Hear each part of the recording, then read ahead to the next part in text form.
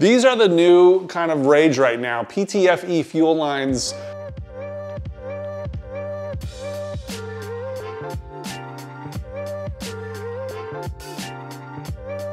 Step one, cut it to length. Step two is clean out all the debris from cutting. Step three is to pry open the stainless sheathing and make space for this aluminum sleeve. This guy should go right on there. Fits good.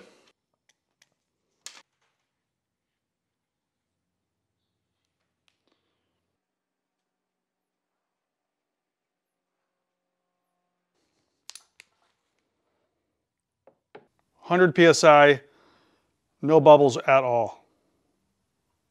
So I want to make sure this won't just pull apart. It's close to the ground, but that's fully suspended, 60 pounds on the fitting. 10 out of 10, recommend.